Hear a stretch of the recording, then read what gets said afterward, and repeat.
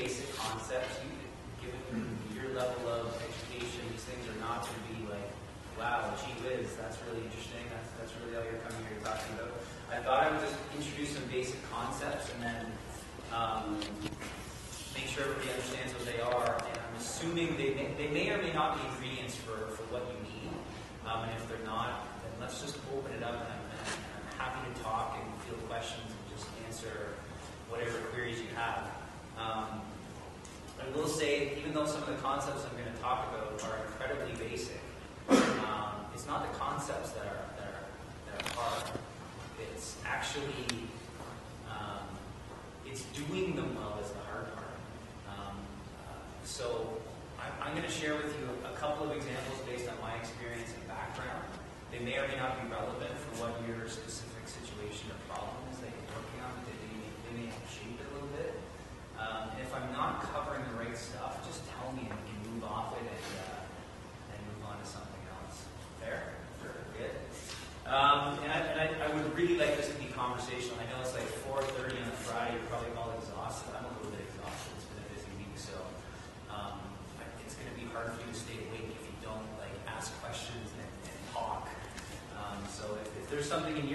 particular case or, or, or thing that you're working on, and you just want to get your group's input on, my input on, just raise your hand and let's, let's just talk about it.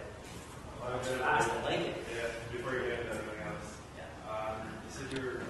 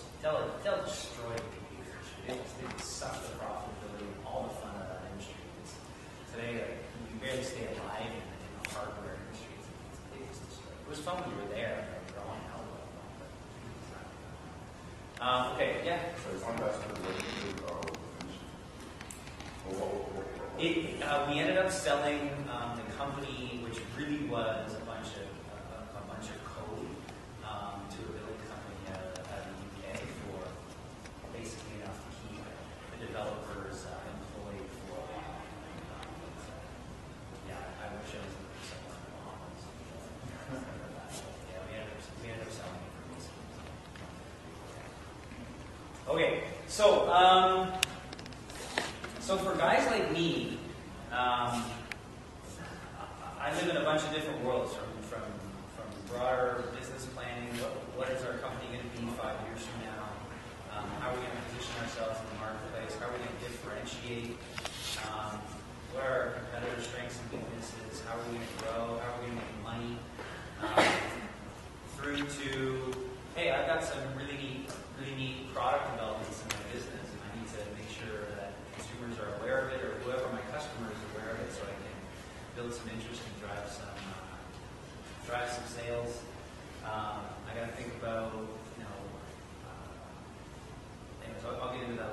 But there's basically three components for a God ID.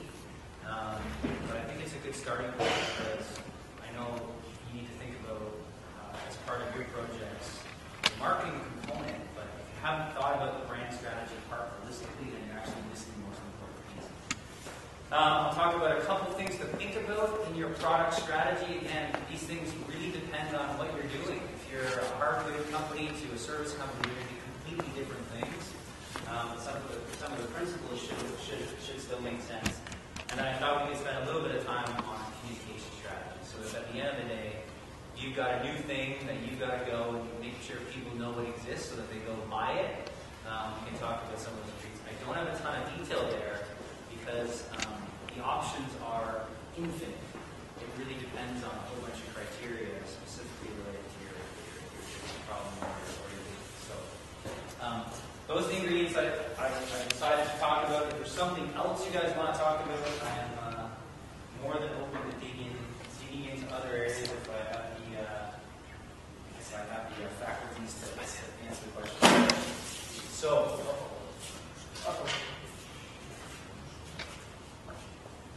I'm sure you guys have all heard of SWOT.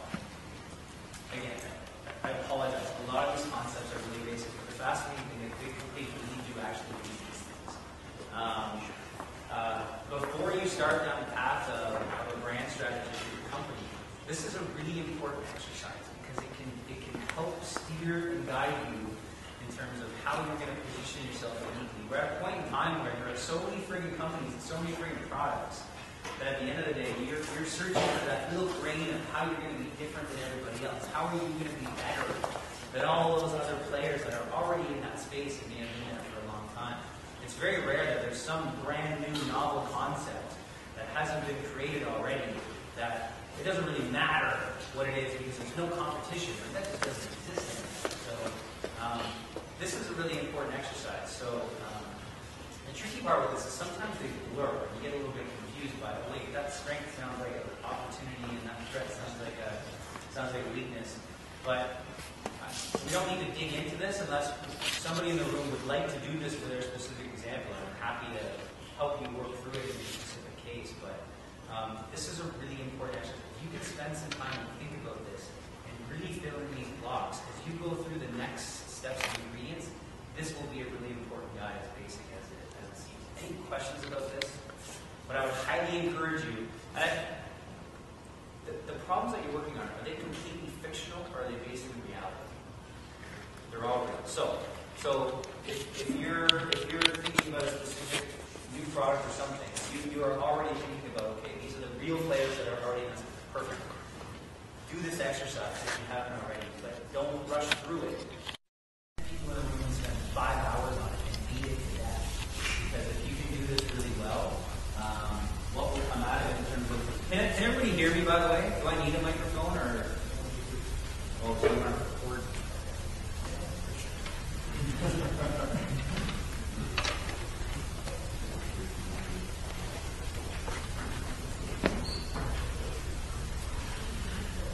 Has anybody done this exercise for your?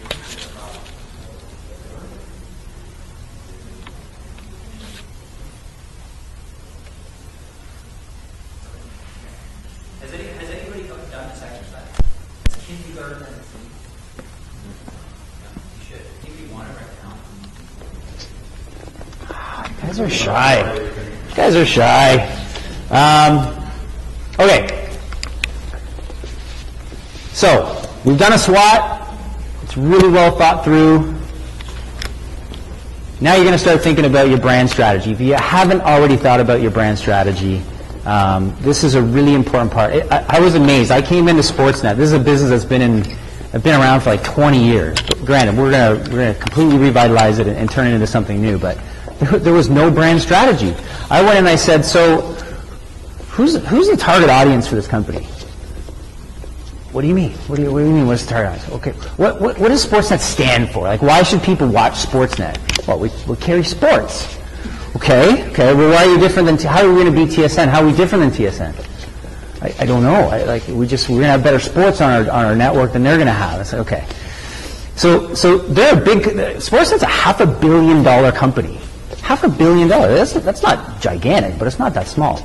They haven't done this work yet. So everybody's saying we're going to be the biggest sports company in five years, but if you don't, if you can't do this stuff, then the whole company's just off doing all kinds of different stuff. You're not rowing in the same direction. You're not. Your product strategy isn't aligning with your marketing strategy. Your your investment strategy in the properties isn't lining up with anything. Everybody's just off doing whatever they think is cool and interesting. So. Um, this is an important ingredient because if you can get this tight, then as your company goes to market, everybody understands what to do. Without it, uh, it's it's a it's a messy free for all. And this is and I, I, I honestly believe that companies who do not have a tight brand strategy have a really hard time succeeding, especially in a really competitive marketplace. You've got to be so tight on your execution across every part of the business, or it falls down. So, These are four basic ingredients. I, I, I, I could have brought a brand pyramid that has 17 layers, but I actually I hate those things. I, when I went into Rogers and I said, "Can I see your brand pyramid?" and it was like, it was literally like 18 layers. I was like, "Wow, how, how does somebody in customer service know what to do?" Like, because it's just it's so complicated. Um, I like to live in a very simple brand strategy land. So if I go to somebody in the sales force, if I go to somebody in a product development team, if I go to somebody in HR, they, they, could, they can easily explain what the brand is. Um, and that's really important. So the, these are the four ingredients. And I, again, I know this is kindergarten, but it's, it's really important stuff. One, who's your target audience? You have to identify that right out of the gate. And again, go back to your SWOT for all of these things. Understand your competition, where you're strong, where they're strong, where you're weak, where they're weak, where you can grow, where they can grow, where they're exposed to risk, where you're exposed to risk. Identify your target audience. Who is it? And there's generally two pieces to that formula. Um, there's, there's psychographics and there's demographics. And the demographics are really simple. It's are they male? Are they female? How old are they? What, what, what um, ethnic background do they come from? Where do they live? Are they urban? Um, basic fundamentals about uh, of, uh, of um, demographic. Define it as tightly as you can. Some companies will be everybody. There's very few companies that their products appeal to the entire universe. Um, a company like Google, okay, they have a very they have a very broad target. It's the entire world, right? Um, if you are a company like Sportsnet, um, our demographic is men. Not only men, but in terms of our brand strategy, our target is men because it represents about 80% of our of our of the people who consume sports in in, in Canada. Um, it's men. Um, they're generally for our business and speci- specifically, lots of people watch sports, but for our brand, it's a little bit older. So it's about 35 to 65 years old. Generally, is who our target is.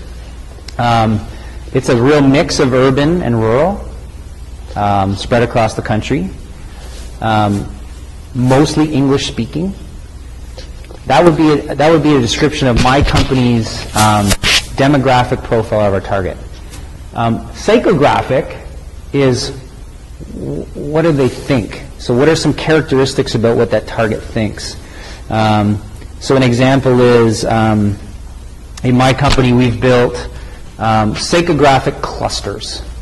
So I've taken all the people in Canada that have, that have categorized themselves as a fan of sport in some form or another.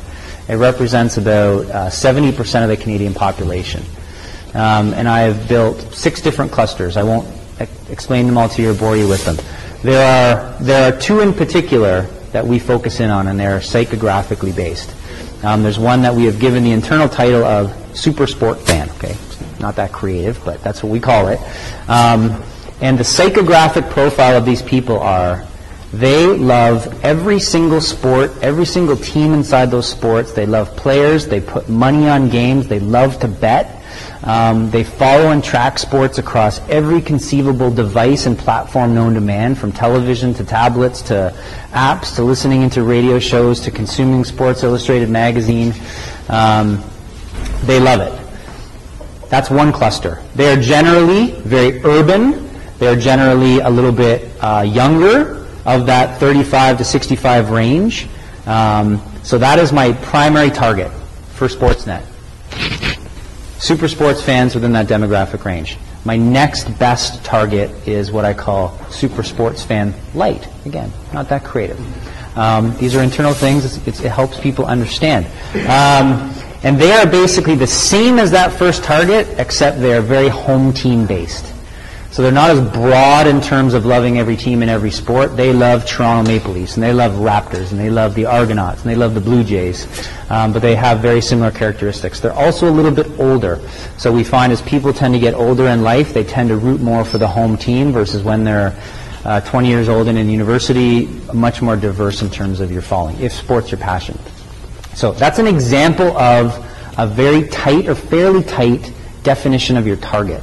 Now, we didn't just pull that out of the air. We, we, we arrived on that target based on that SWOT, ana- SWOT analysis. We understood who are our who, who is interested in sports, who are our competitors, where are they playing, where are they weak, where do we have opportunity, where does our competitor have a potential threat, and we zeroed in on that specific target. There was, there was a bunch of other factors which um, fed into that, which we have to go through this a bit more to help understand it, but that is a, a key ingredient. Um, closely related to that is a target insight. So once you've defined that really tight definition of who that target is, you need to understand what they care about, what they fear, um, and this is specifically in relation to, if you can, your product.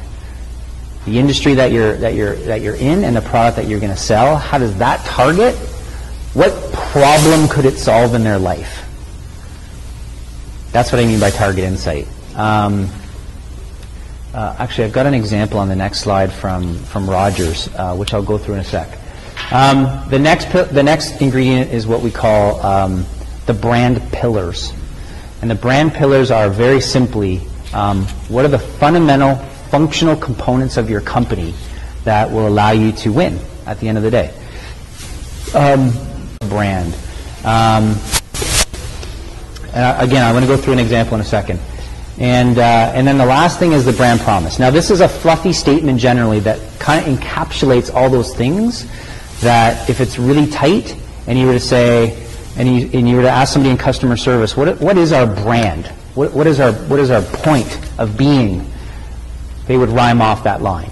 And it would quickly encompass your target, your brand pillars, and that insight all in one nice tight statement. So here, here's an example of what it is for, uh, or what it was. It's, it's evolved.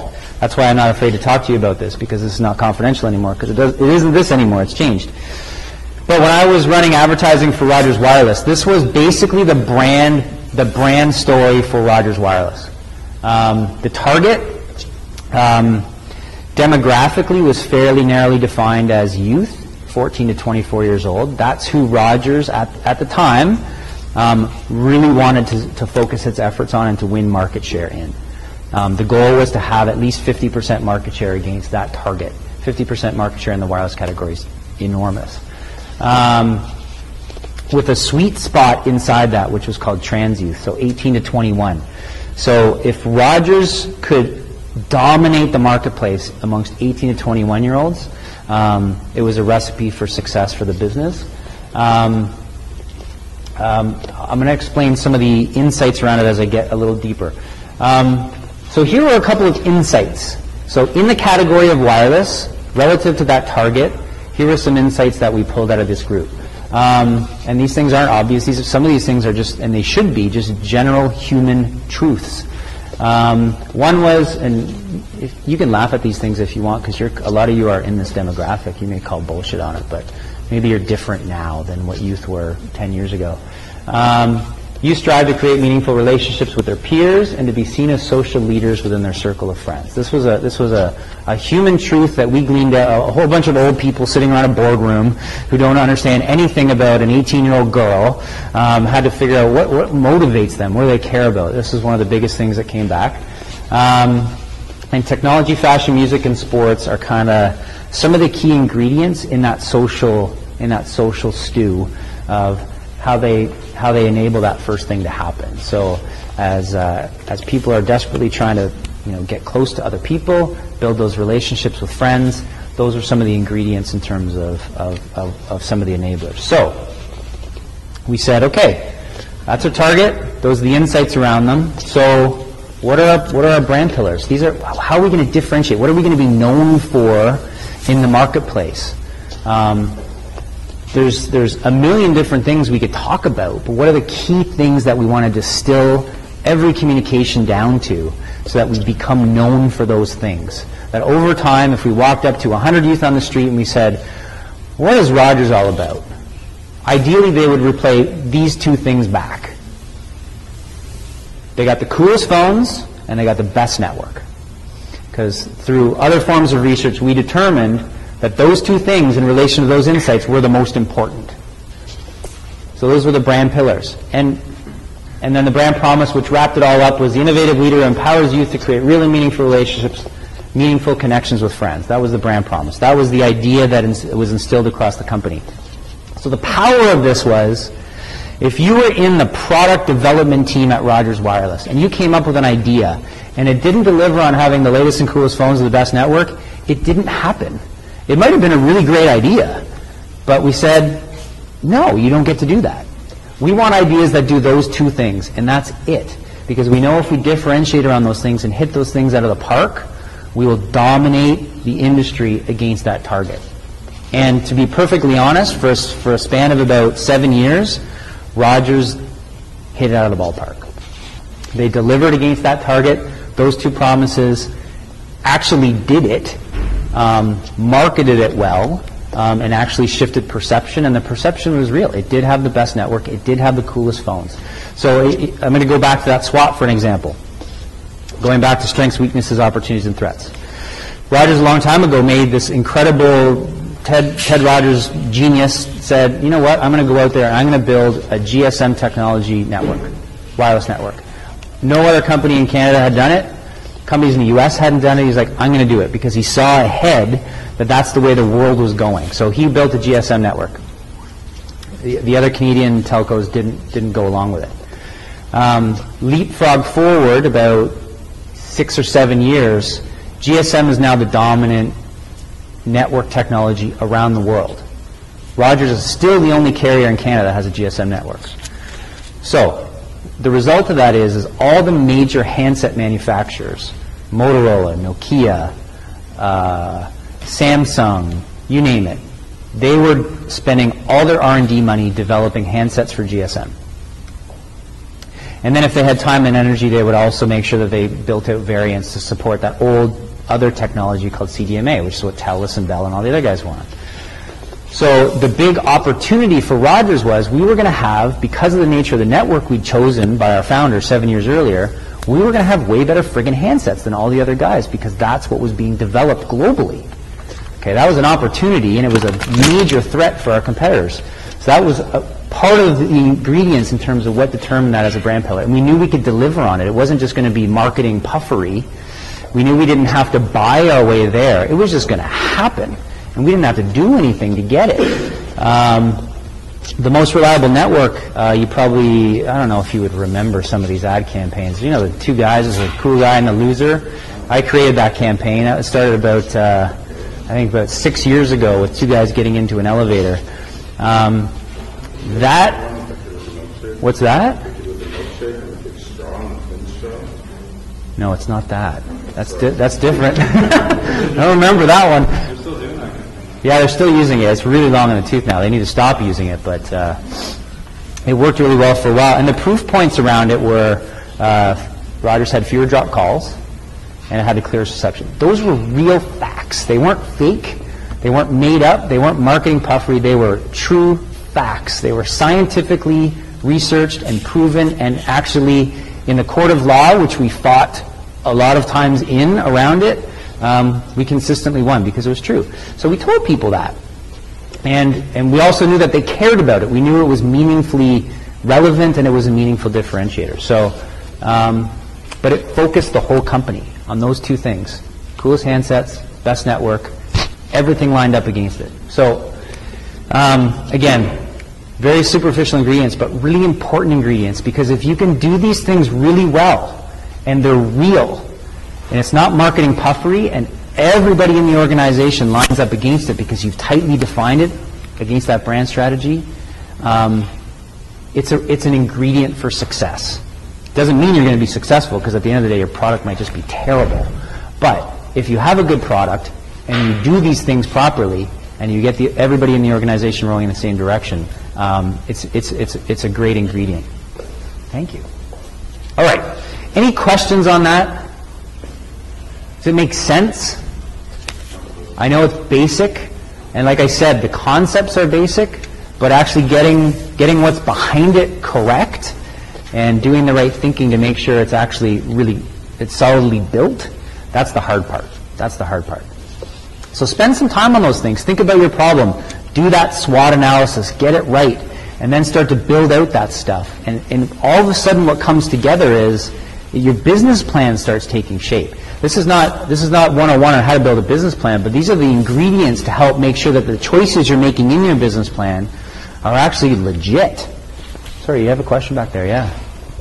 So according to your what is the greatest way to compare your like, uh, okay, you're, you're planning to do the business, right? Yeah. Do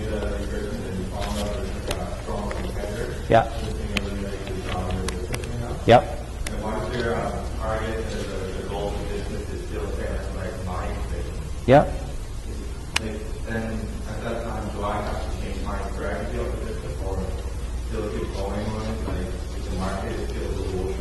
it? Those are the choices, right? That, that, that's why there's, there's no right or wrong. You got to just make choices, and you got, and so you may decide that you're going to compete head to head. I'm going to go after that exact same consumer. My target may be identical. That's not necessarily a bad decision, but then you got to go into well, why are they going to choose your product? So now you've got to differentiate around some other things. You have choices around how you differentiate. You can differentiate around who you're going to go after in the marketplace, or you may decide, no, I'm going to go after the exact same people because those are the only people that actually buy that kind of product. So I, I, I have to go after the same target. So how else, what is the other reason why they're going to come to me? How else am I going to differentiate? And you can, again, you can choose at a whole bunch of different levels, and we're going to go through some of those. You can do it on price. You can do it on image, purely on image. You can do it on really functional differences in terms of how your product works than how the other guy's works. Maybe it just offers a slightly different set of features that may be more compelling to that same target than the other guy's features. Um, that's where you have to start to make some of those decisions. So it's not you don't always have to say, oh my God, there's already somebody in that space against that target, I need to find another target. Um, I mean, a good example of that is, so Rogers did this for a while and um, was having a lot of success. So a competitor said, well, I got to get in the mix. They're having too much fun all alone there. So Bell said, I'm going to create a separate brand called Virgin. And I'm going to launch Virgin in the marketplace. And I'm going to go solely after trans youth. I'm going to go after that 18 to 21, except I'm going to do it better than Rogers. I'm going to make it sexier. I'm going to make it edgier. I'm going to provide other features around my product. They got this reliable network thing and cool phones, but I'm going to give them rewards to get into movies and to buy clothes because they did research and found out the passion points are the same. They got the same answers back, but they differentiated their product in a different way. So their, their proposition to that same target was a little bit different. And it worked. It worked, and they started to, sh- to steal share away from Rogers. Does that answer the question? Ish? Okay. Yeah.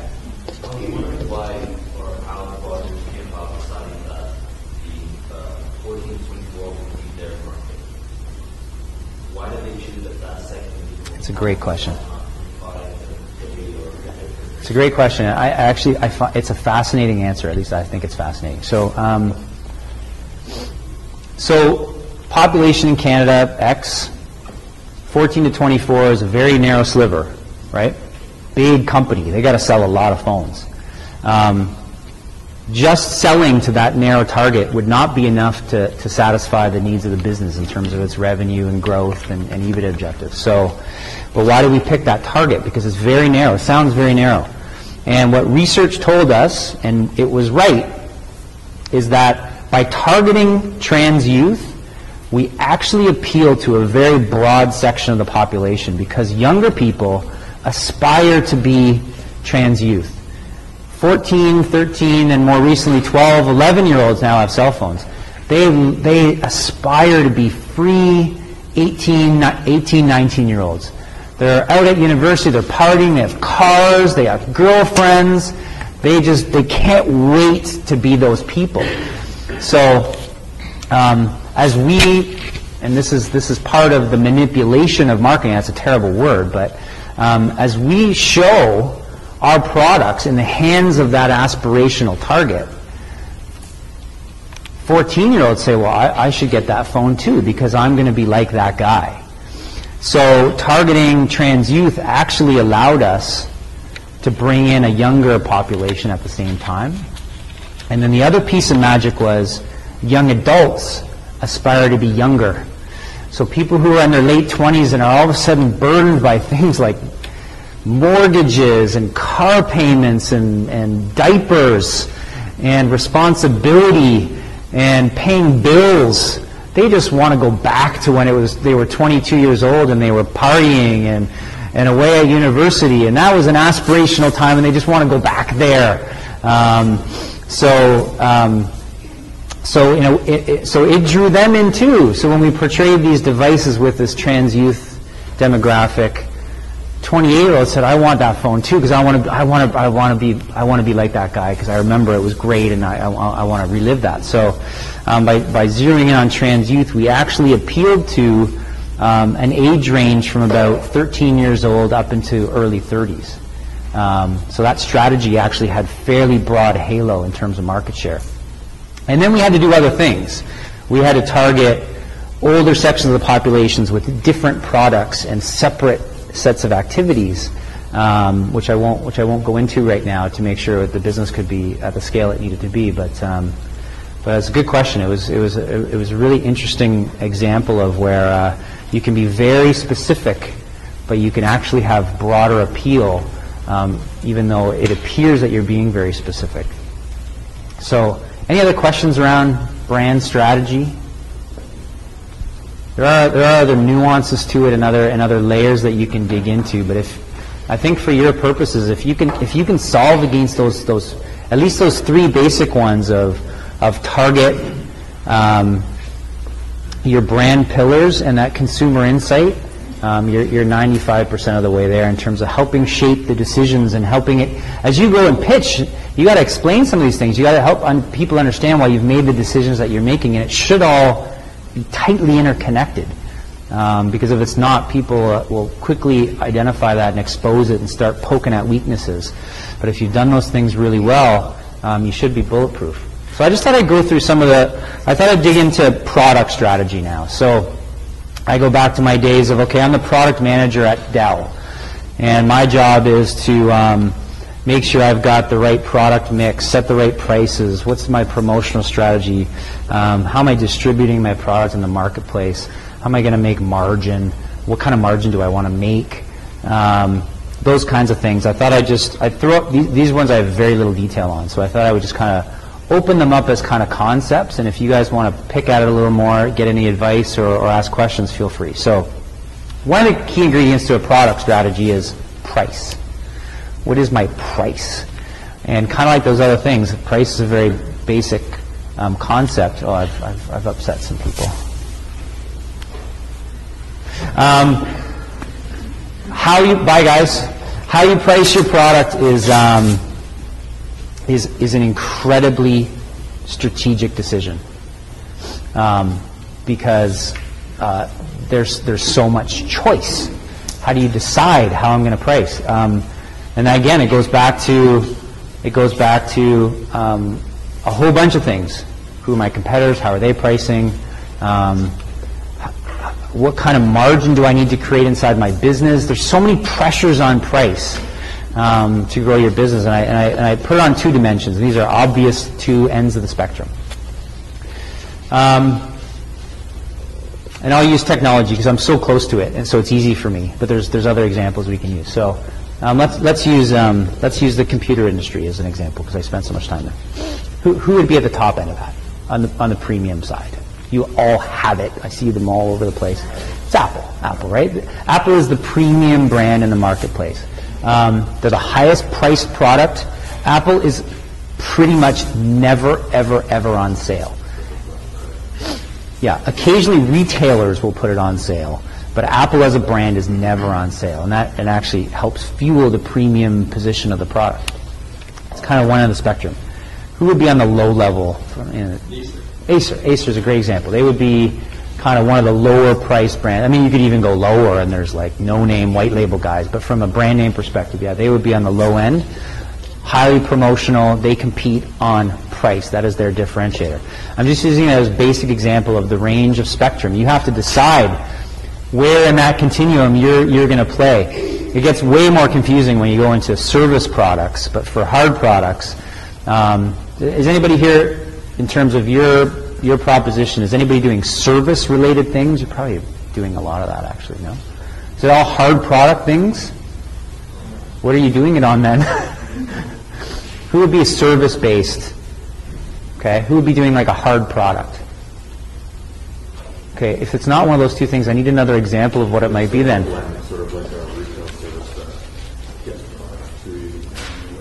Okay, so that's a service. I would call that a service. Who's, who's got a product? Who's got a hard good? What's, what, what's that? That's okay. That's okay. It sounds like there's a lot of blend. Who is a, who is a hard product, like an exclusively hard product? Like who's making something, a thing? Nobody wants to make things anymore. Construction. So what, give me an example.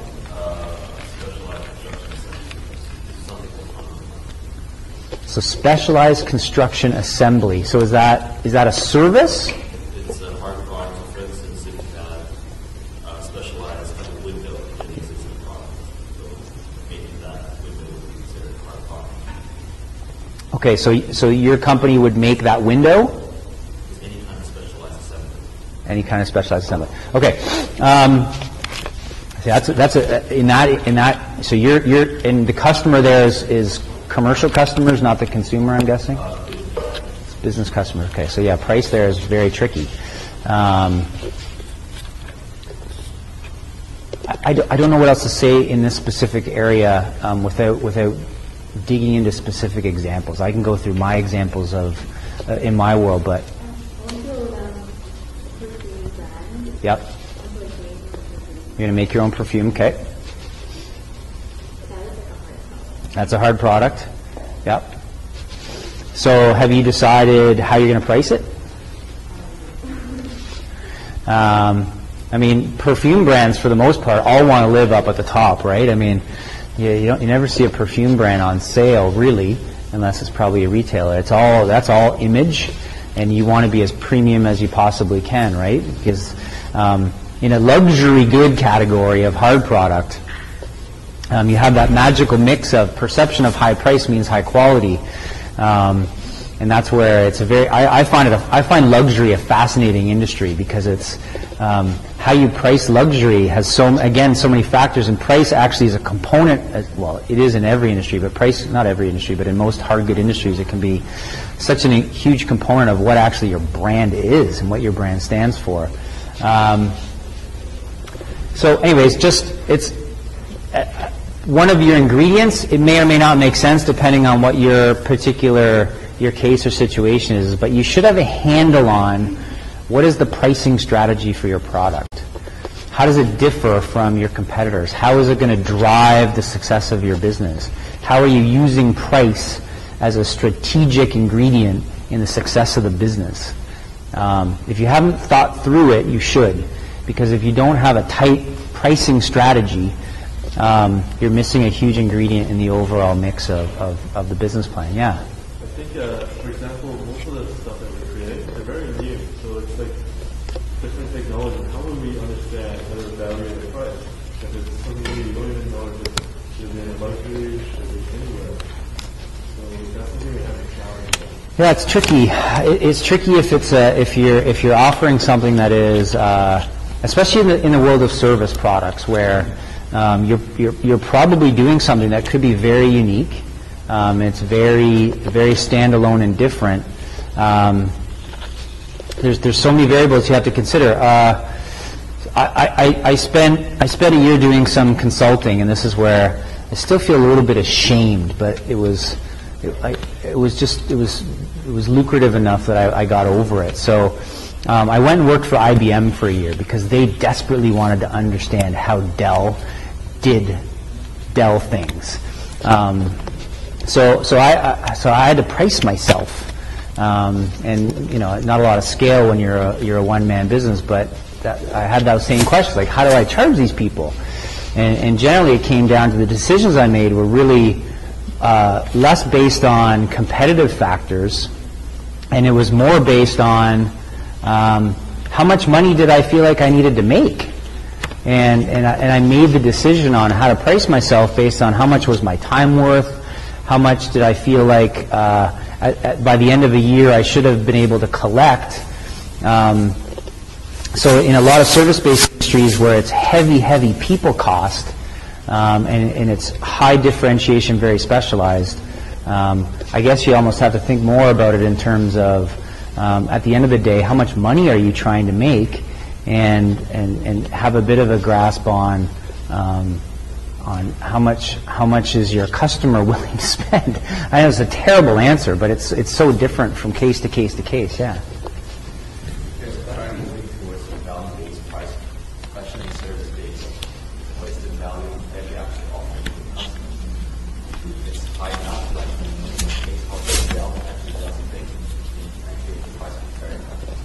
Yeah, I think that I totally valid. Totally valid. Yeah. I mean, you could you could say, look, uh, my services are going to generate this much value in your business. I should get a I should get a component of that. I should get a I should maybe be able to I should be able to be able to keep. But you look at a lawyer, for example, right? They, that's the exact same equation. They're going to go sue somebody on your behalf and make you X amount of dollars. They're going to keep probably 50%, maybe a bad example. In a, in a, in a consulting service-based industry, maybe you keep, you know, 15 to 20% of that, of that revenue that you're going to, you're going to help your client create. And that's, that's good value exchange at the end of the day. Yeah, totally.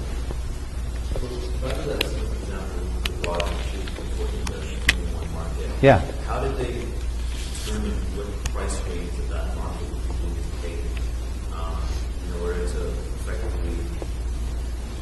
those brand pillars while Yeah. like getting a benefit out of it? Yeah. What was the survey, what was the decision? So, so part of the decision on that target, and again, like I said, there's, there's so many ingredients that go into choosing the target. Part of it's competitive and other things, but one of it was back to this equation. So the business, the business decided that it wanted to play up in the premium brand land. It wanted to charge a premium relative to its competitors because the business wanted to earn a profit margin of a certain percentage. In, in, in Roger's case, um, there, there's, there's no industries like this left in the world where it, it's operating up in the 40% margin range on, on a fairly expensive service. Um, so part of it was, well, how do, how do we maintain that profit margin of 40%? How do we stay up in that range? The only way to do that is to charge a certain amount per month per subscriber. How am I going to get that much money per subscriber? I've got to, I've got to target segments of the population with a value proposition that they're willing to, to pay that much. Part of the decision around that target was is they're actually that, that trans youth and youth target is actually willing to pay more for wireless services than mostly any other segment in the marketplace. Trans youth spend more per month, with the exception of business customers, spend more per month on their wireless bill than anybody else. They spend way more than teenagers. They spend way more than young adults who are burdened by mortgages and diapers and, and things, and they have to think about costs very heavily. Youth spend freely on wireless their average monthly cell phone bills are higher than anybody else. So that was another reason why that target was picked. Like I said, these are all ingredients that all work together. Um, the decision was they need the, they wanted to be a premium brand. They needed to be a premium brand to drive the profit levels that the business needed. So that part part of the target decision was to focus in on that area of the market that would that actually spends the most on a monthly basis on cell phones. Um, I'm trying to think of another pricing example. Um,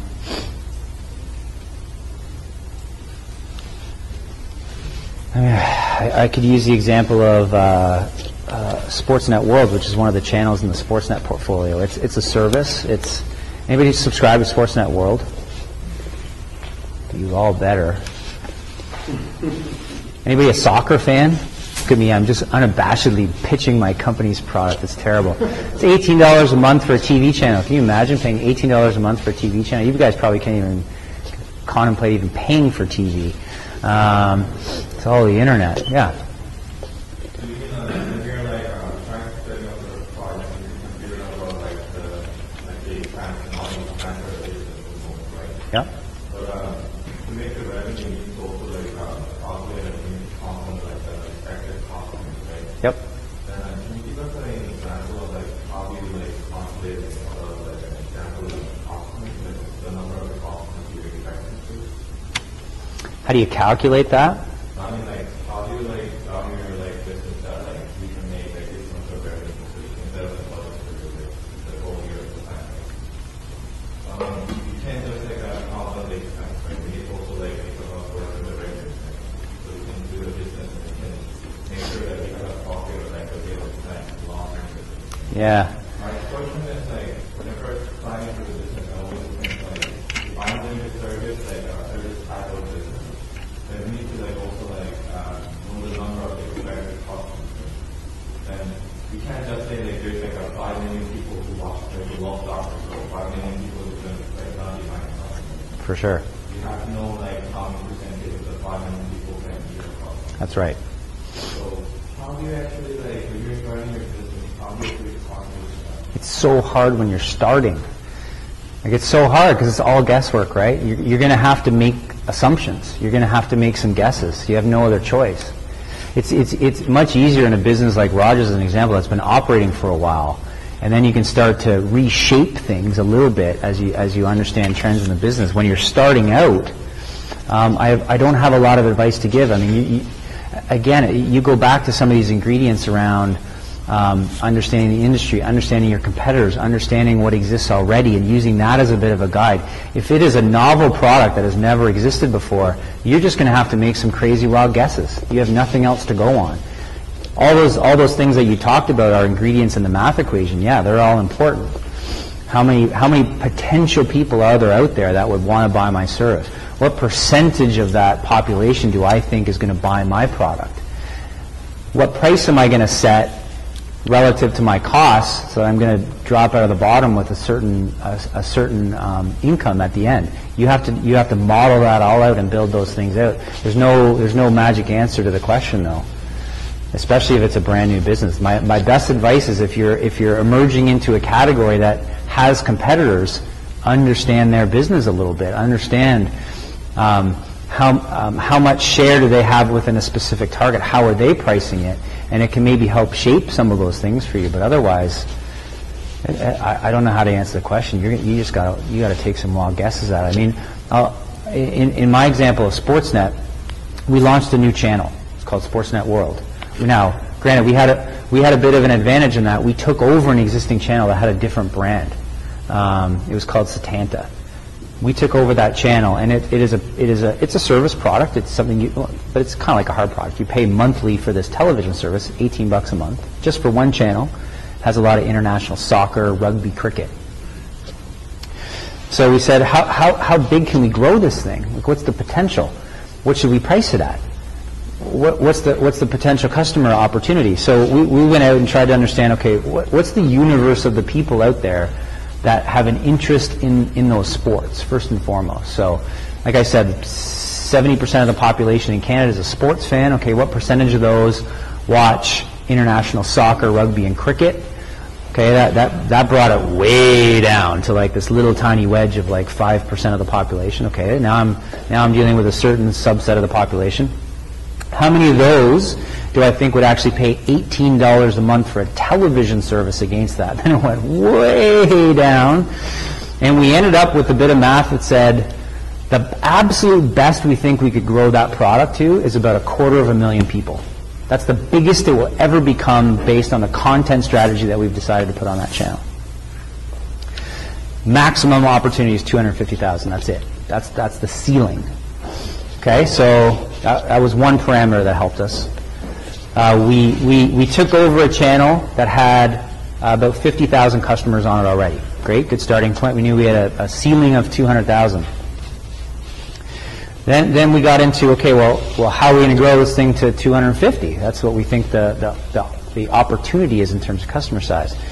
And that's where you got to do a little bit of price elasticity, and you can do that with guesswork, or you can do it with real work. So one of the things we did is we, we, we have the benefit of, of, of different distribution through a bunch of different affiliate partners across the country. So Bell carries my channel. Shaw, TELUS, Rogers, Eastlink, got all these carriers. Why don't I go and see what different pricing options drive different kinds of ac- activity and volume? And let's see if we can get some learning. I know this isn't helping you because you got to come out with a pitch, but for me it was I could actually play around in the marketplace and I could experiment and I could try different pricing levels and see what kind of penetration rates I could achieve at different price levels.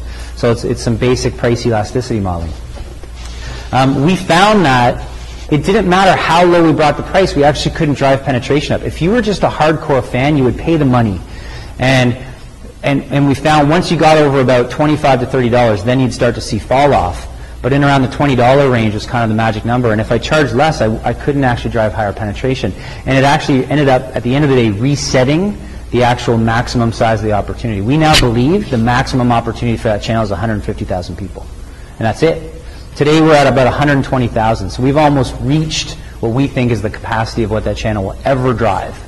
So then the decision starts to become, okay, well, are we satisfied with that, or do we actually want to put different content on there to start to grow the opportunity? So I know I'm not perfectly answering your question, but I, I think at the end of the day, if you have a novel product, first time ever in the marketplace, um, you have to just make some wild assumptions. Oh, where do you test out, uh, Sportsnet? Do you test it out just a small group or specific market? Um, in order for us, so the key, the key with those tests is you have to be able to measure them, right? So um, we had to do it against an entire, an entire um, uh, uh, carrier base. So um, we tended to pick the smaller ones because it was less risk. So we would go to like an Eastlink where their subscriber base is a couple hundred thousand people, and um, versus like doing it with a Shaw where they've got millions of subscribers, and if I get it wrong, it actually costs me some real money. Um, so uh, it, it just, we, we tended to focus on the smaller ones, but the point being is that you've got to make sure when you do price elasticity tests like that that you can actually get a good measurement. Yeah. Okay. Um, any other questions? Oh, sorry, you're, you're working that. Um, so another ingredient, and I, and I feel like I've picked this badly. I come from a hardcore world, or a hard product world. So I tend to think in hard product land, and I, I have not spent that much of my career in a service business where it sounds like you guys are all deciding to play, or a lot of you are deciding to play. But um, one of, but this, this concept still, I think, still has applicability. Um, and it's your distribution strategy. How are you going to sell your product? Who's going to sell it? Um, in a hard product example, you've got, you know, you can sell direct to your consumer. You can do that. Um, you can open up your own stores. You can sell direct over the internet. You can use the phone. Um, are you going to have a reseller model? Are you going to use a partner model? Are you going to have other people sell your products for you? Um, you know, think of like uh, think of the, the food industry. Very few food manufacturers sell their products directly. They use grocery stores and grocery chains. And again, basic concepts, but you have to make these decisions. How am I going to distribute my product? Um, and, and, and some of these decisions are, are, are based on um, how fast do I want to be able to scale? How much money do I want to make? As soon as I bring in partners, now I have to erode some of my profit margin. If I do it all myself, I get to keep it all, but maybe I don't have the scale to grow as fast as I want. So these are, again, things you have to decide.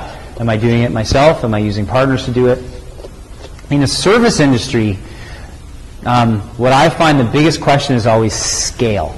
How do I scale? Scale is easy with hard products. Well, it's not easy with hard products, but it, it's you can you can you can find your way to scale simply by optimizing distribution models. When you're service industry, scale again is usually dependent on people. It's highly people based. Um, and your scale is generally defined by the amount of people that you bring in because you're monetizing the people that are involved in the business, generally in a service industry. Unless, unless your service is kind of some kind of hybrid where at the end of the day it is actually a product that you're selling. So the question becomes in, in service industry is how do you scale up? How do you grow? Um, if you're a consultancy type industry, um, um, how do you take that from a, a $1 million business? If your objective at the end of the day is you want to be a $100 million business, how do you go from a million to a 100 if it's all based on the fact that the only thing that you're monetizing in your business is, your, is the people that are actually spending time with clients or whatever else? So um, these are, again, just another ingredient in the mix that you have to be thinking about as you're building your plan is how am I distributing my product? There's all kinds of different ways to do that. It can be a competitive weapon. Um, again, I'll go back to the Dell example where you had an industry that was entirely partner-based. Companies made computers and then they relied on partners to distribute those products. A new guy came in and said, holy cow, I can do this myself, do it entirely direct, either decide to make more money or price my product lower because I have a lower cost of delivering that product to the consumer. Dell came in and said, I'm, I'm comfortable to make the same profit margin as my competitors or less, but I'm able to sell my product at a lower price because I've chosen a distribution model that has a lower cost. It's harder to do potentially if you don't know what you're doing, but if you know how to do it, I can potentially price my product lower. So it can be a competitive differentiator um, in the decision. is your distribution model at the end of the day. Any questions? Okay, I'm almost done, and then maybe we'll just open this up for questions. I feel like feel like you're an unsatisfied group who's not getting what they need. Um, all right, let's go to the next one. Okay. Um, do you guys want to talk about advertising at all? Is that important to you guys as part of your, your pitches? Is this thing that, something that you need to worry about? Is how are you actually going to communicate your your business at the end of the day on losing more people? It's hurtful. It's hurtful. Do you want to talk about this? Is this worthwhile? Yeah? All right. So, um, I, again, I'm going to go through some concepts, and whether these things are things you need, I don't know. I don't know. You'll have to decide for yourself. But these are things that, as a guy who worked on um, uh, a hundred million dollar advertising budget, um, th- this is what I cared about doing well. So, um, when you're starting down the, the, the communications journey, these are some things you think you have to think about. So again, as part of your pitches, I don't know if you need to say, here's exactly how I'm going to advertise my service or product. If you do, these are some of the things that you should be thinking about. So number one is objectives. Objectives are so important in the business world to be super precise on. And um, we, we generally divide them up into two forms, a business objective and a communication objective. The business objective of an advertising campaign generally is revenue-based or EBITDA-based or product sales-based. It's, it's generally a very simple idea. Um, so what's the business result I want when I go and advertise? The communication objective is, is what I, what's, the, what's the shift, what do I need to make the consumer do or think? And they're different things. And sometimes comp- companies, if they don't properly define the communication objective, if you don't really think about it, you might end up doing the wrong thing. So what I mean by a communication objective is, um, do I just want to build awareness? Do I just want somebody to know something exists? Do I actually want somebody to go and do a specific thing? Do I want them to go to my website and look on a specific page? Do I want them to go into a store and buy something? Do I want to shift a perception of what maybe they already think about me and it's wrong, so I want to fix it? All those things drive back to business objectives. If there's, an, if there's a misperception about a company and I do an ad campaign to fix a, business, a, a perception, that may get them to go into a store and buy a product. I don't necessarily have to say, save $20 if you go into a store today to buy this. I may say, my product actually is brighter and shinier than you thought it did, and that may, that may deliver on the business objective. So you got to think about, what am I trying to communicate? What, what is the thing I want the consumer to do?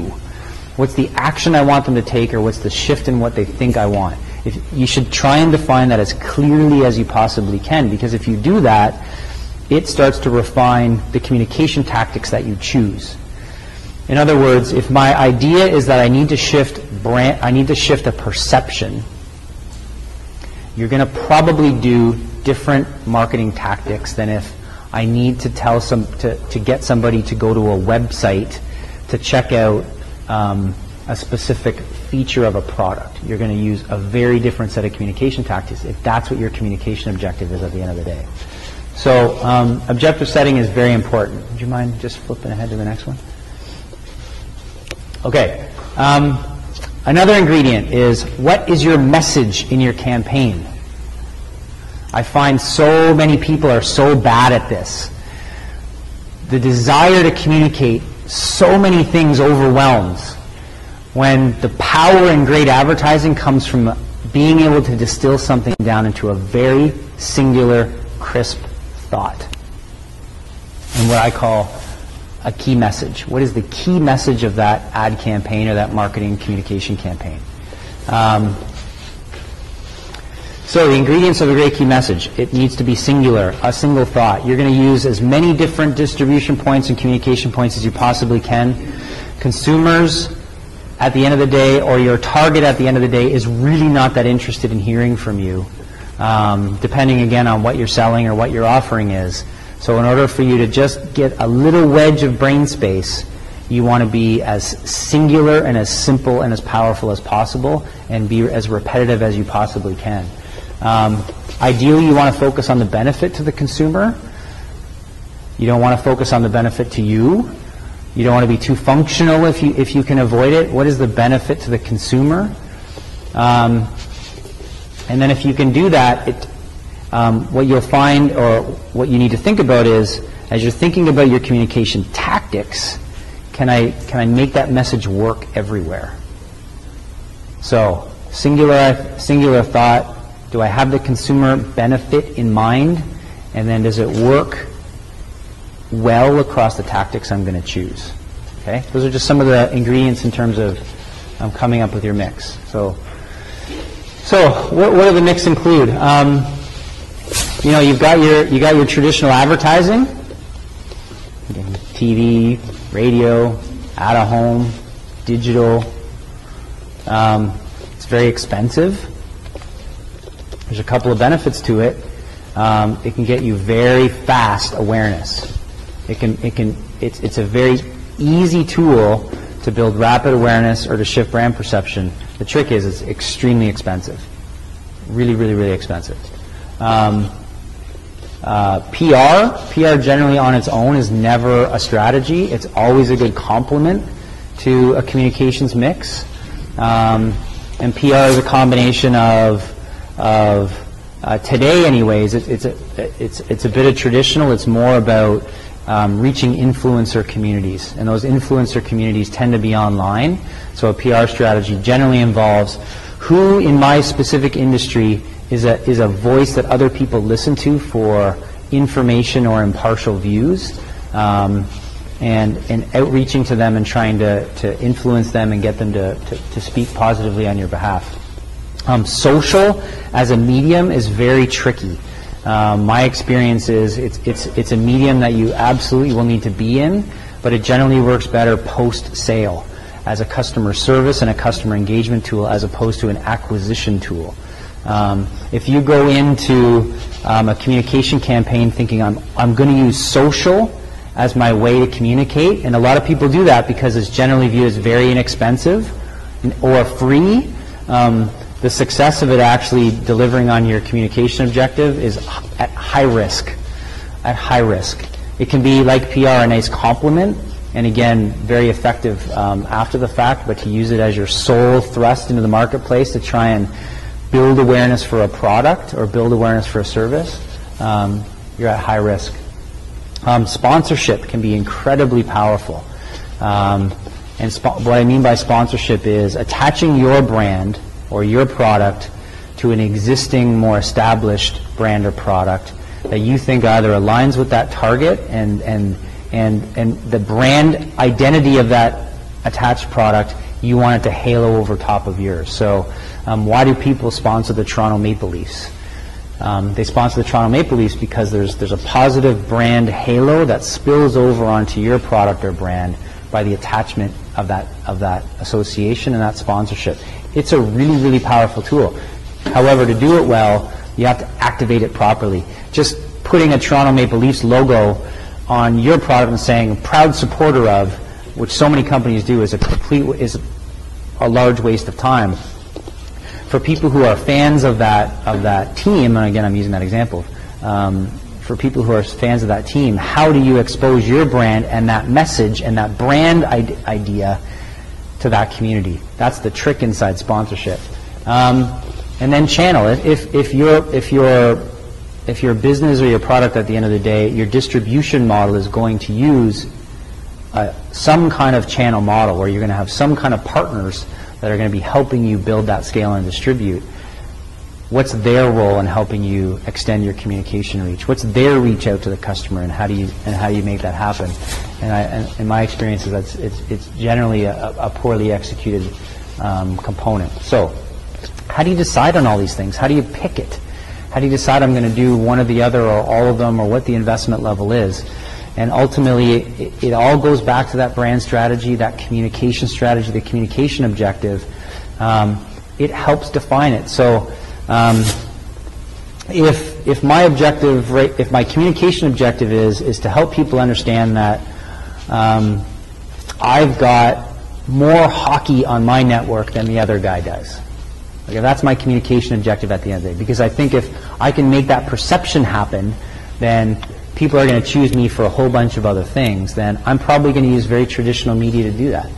I'm going to do probably a big, boring, hopefully highly emotive TV commercial, as, uh, as, as old and boring as that sounds. If, if my objective is I want to get, um, I want to get a whole bunch of people to subscribe to my Sportsnet World channel that I've actually moved into an over-the-top online service that you can buy as just an online service, and you don't even need to be a subscriber to television.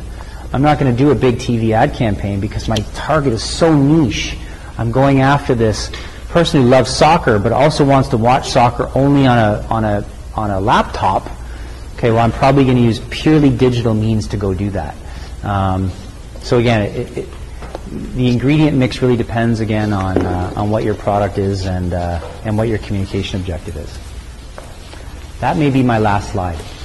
So. Um, I don't know if I've covered the things you need me to cover. It was a bit tricky coming in here because it, fe- it feels like I'm just kind of barfing some stuff that's that's marketing related.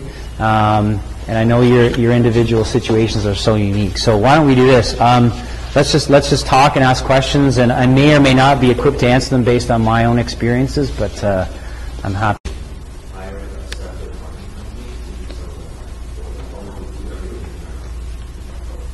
Um, I would say uh, for larger for larger organizations, um, the marketing organization needs to be inside the business, um, and that's because most marketing organizations are are so tightly linked to the business strategy um, and, and and ensuring that that business strategy, that brand strategy, is is being adhered to across the company is generally influencing product development. It's, it's influencing so many things. When it comes to marketing communications or advertising, um, uh, the, the tendency is to outsource um, parts of it um, because there's there's some there's some expertise and some specialization that it just doesn't make sense to, to develop in house. So um, for for a guy like me, if I'm developing a big advertising campaign, um, I'm going to go out and I'm going to hire an advertising agency to do the creative ideation, the production around that. I'm going to hire a media agency to go and determine the best mix of those media variables to, to develop my media plan and connect those things together. Um, as, uh, uh, for smaller companies, it almost even becomes more important because the, the, the chances that you've got that expertise in-house are almost nil. So I'd say when it comes to marketing, communications, PR, those kinds of things, most companies outsource it um, because the expertise just doesn't exist inside the company. It doesn't need to either. Um, so yeah, I'd say that's that's generally the behavior. Yeah. You must have more questions. Is marketing even a big part of your pitch? Or is it kind of like a little ingredient? Okay. You're just dominating the room, man. Yeah, for smaller businesses then, um, do, does there exist a lot of, uh, marketing companies that can really small? Oh, absolutely. Yeah, I mean, there. Again, it's. Uh, so I'll use Rogers as an example. Rogers would use uh, a very large, established, highly reputable, and, and, and highly expensive advertising agency to work on its business because um, it doesn't want any risk. It wants the best ideas, the best talent working on it.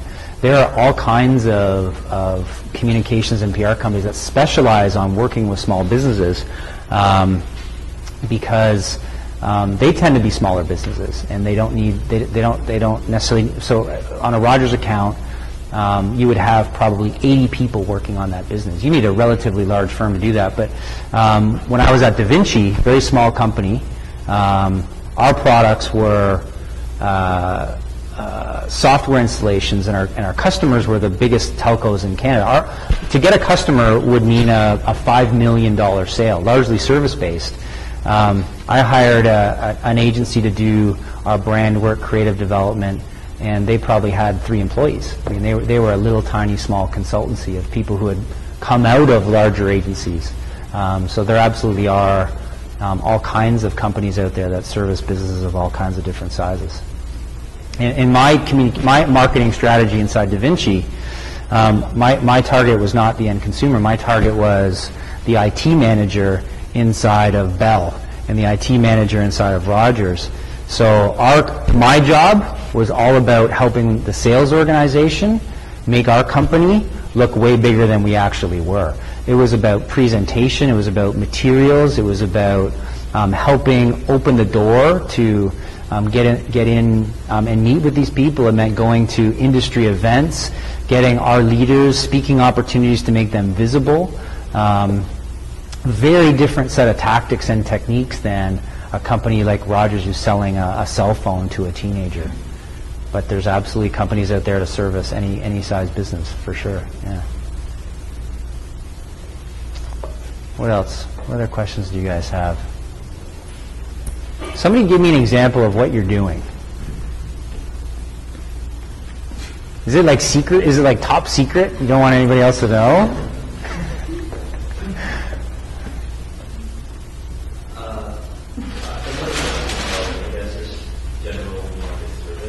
From.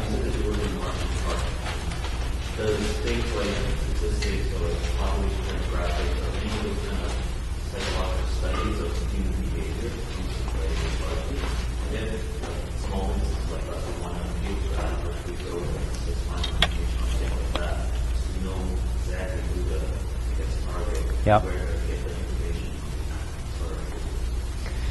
I mean, getting getting basic demographic information is really easy, um, and, uh, and and generally you can get that off of uh, off of government websites. That there's there's incredible statistical information that exists out there as part of the open public record um, that can help you get some some really detailed um, demographic information. Um, when you want to get into psychographic information, so what what does your target customer think? um, that's generally where you're going to have to do some proprietary work. And there's a lot of companies out there who, who specialize in that kind of thing. And there's different techniques, and there's all kinds of different techniques in terms of how you go get those answers. And you can spend a lot of money or not a lot of money. Um, uh, so, um, yeah, from a, from a from a from a from a psychographic perspective, you're you're, you're going to need to employ an agency who's going to help you get inside the mind of the target.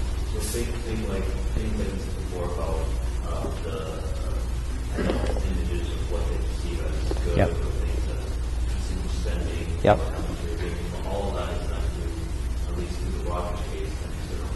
Yeah.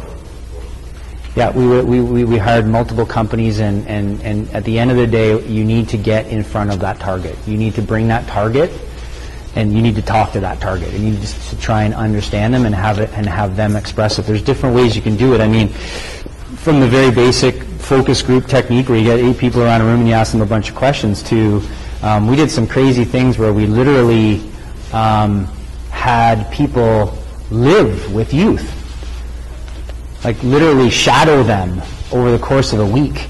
They didn't they didn't stay in their bedroom when they were sleeping, but outside of that, they literally shadowed them for weeks. Tracked, went to classes with them, hung out at bars with them, um, went home with them, hung out with their friends with them.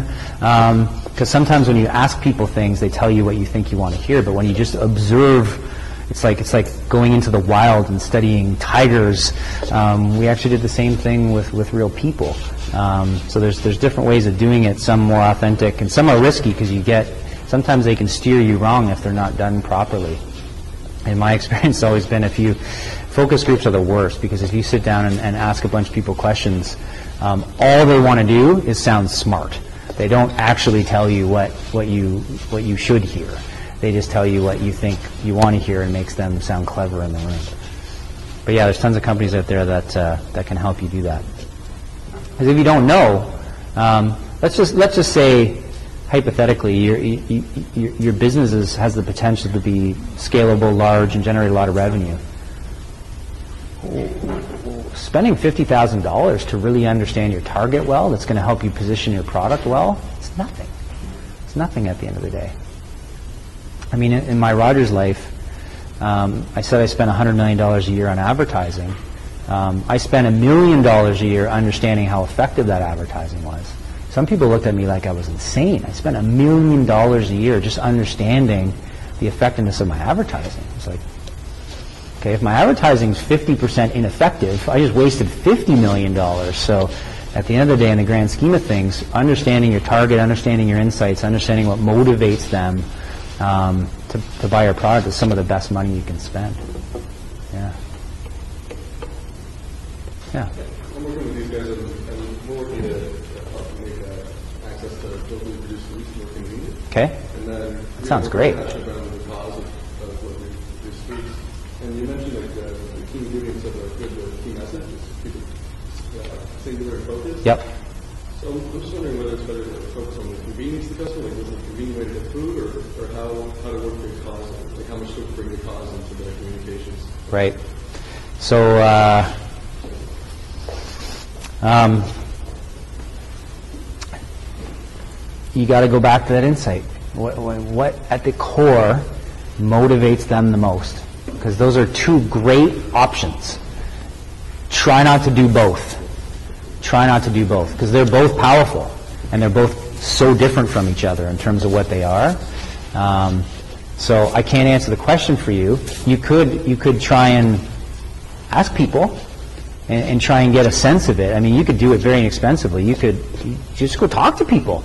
Well, go to the mall and stop 15 people and ask them the question. Um, you'd be surprised what you get back. You can do it very inexpensively, but but my advice would be to pick one. Make the choice of which one you think is the most powerful at the end of the day, and make it make as much of your communication about that one thing. Maybe your website talks about multiple things, and um, that that's okay.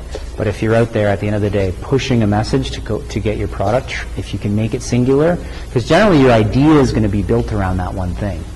If you have a good creative idea, you can't do it on two completely different things that have two completely different benefits to the consumer. Your creative idea is going to be not going to be a creative idea. It's going to be a terrible idea. Um, that's a great question. Those are, and that, that, that's the, that's the, that's the exact example where you've got two powerful benefits, but they're so different from each other. And if you try and do it both, it's going to be it's going to be hard. Yeah. Yeah.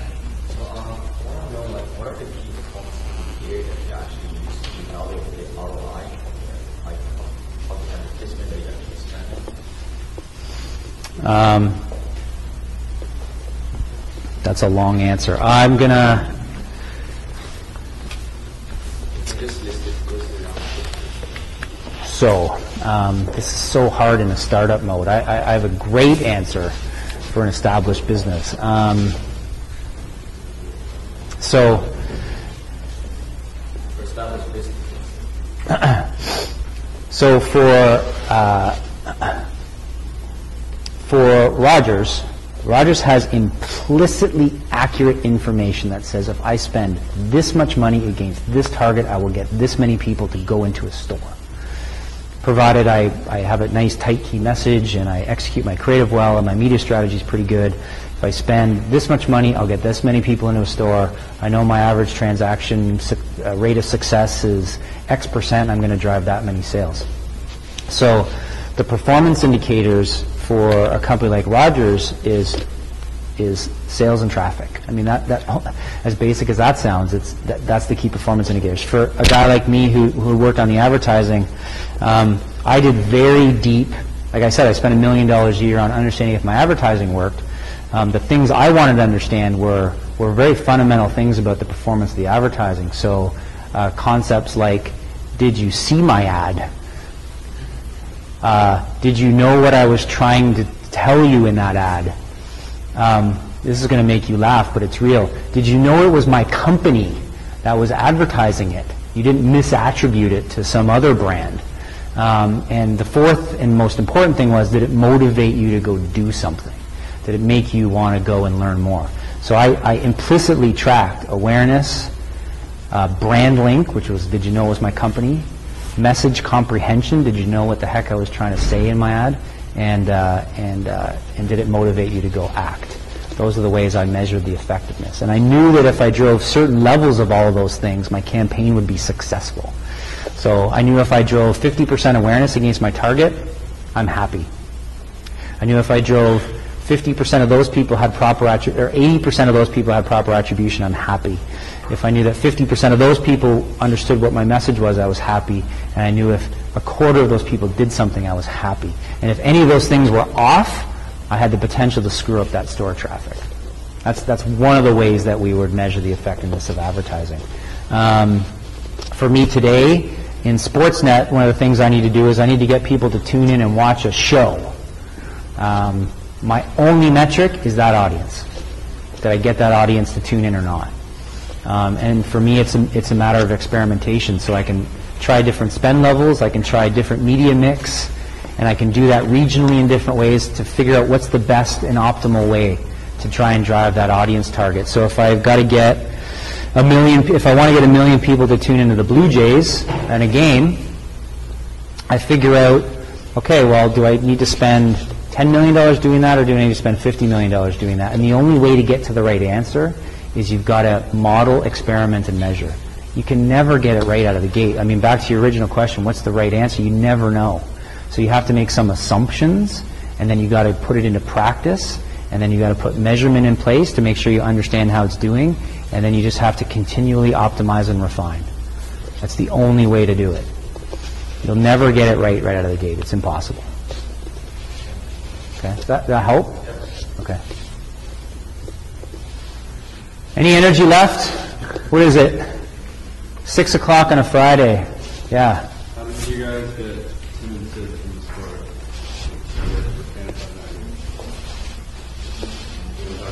Oh yeah. Oh yeah. Um,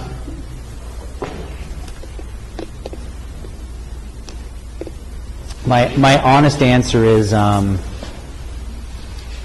uh, they bought into what the vision of the new Sportsnet is going to be, and um, they saw it as a much more exciting place to be for the long-term uh, opportunity for their career in terms of expanding their own personal profile, their own reputation, their own celebrity.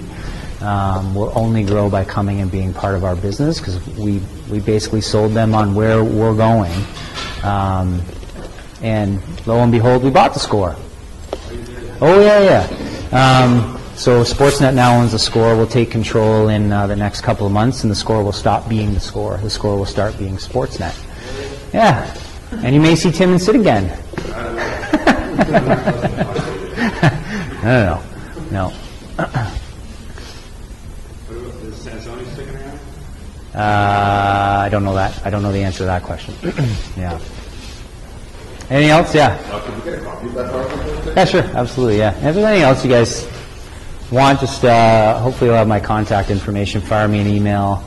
Um, look me up on LinkedIn.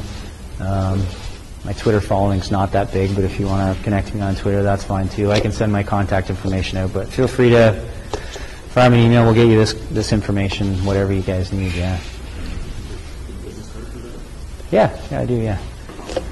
Good. Thanks, everybody.